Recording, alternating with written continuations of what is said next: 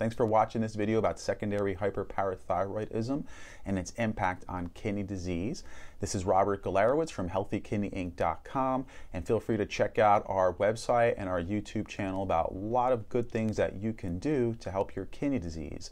Now I'm referencing a study from the Clinical Kidney Journal that's in January 20th, 2021 and it was a big study. They looked at chronic kidney disease from stages 1 to 5 and they looked at how many people developed secondary hyperparathyroidism, which is something that's common in CKD. So they had about 2,500 people in the study. Looks like about 750 or so uh, developed this secondary hyperparathyroidism. And the parathyroid is four glands, okay, in the neck, and they secrete a hormone that helps regulate your calcium balance in your body. And this is very important because if you don't have proper calcium balance, a lot of things can go wrong.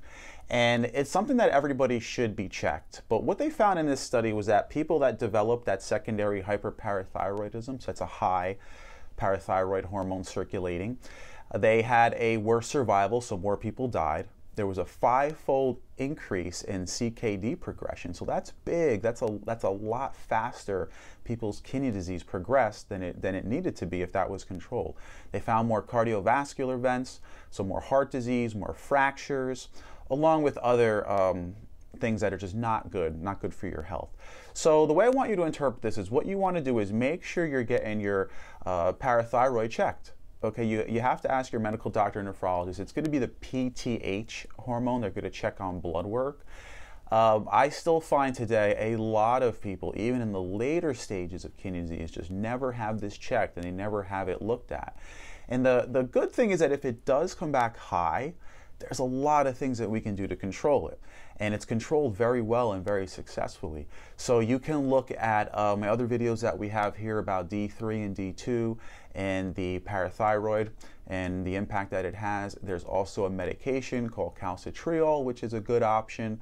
It's a more active form of D3 and um, that could be something that's used to help control it. But the point is, is that you want to get tested, and if so, you want to start looking at these options to control it because it is one of those areas that, if not controlled or even looked at and controlled, it's going to progress the kidney disease much faster, and it's so easy to control this. It's not difficult. The problem is I find a very large percentage of people just aren't getting tested for it. So make sure you have your doctor test it, ask them, whoever it is. Any nephrologist or kidney doctor should not have an issue testing this.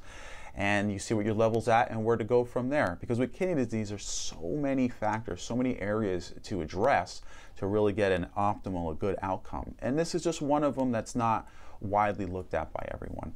So take this information. Hopefully you can use it for yourself. Thank you for watching, everyone. This is Robert Galarowicz from HealthyKidneyInc.com. Bye.